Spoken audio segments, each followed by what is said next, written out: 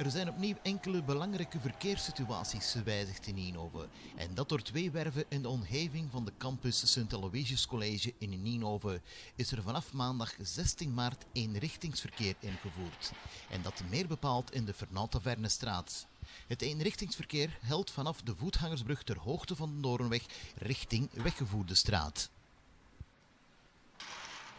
Wie vanuit de weggevoerde straat de Abdijstraat wil bereiken, is er ook aan voor de moeite. Deze is ook eenrichtingsverkeer geworden en moet van de andere zijde genomen worden. Er is eveneens ook ter hoogte van de Aalsterse Steenweg eenrichtingsverkeer ingevoerd en dat meer bepaald in de Vinkenstraat richting station.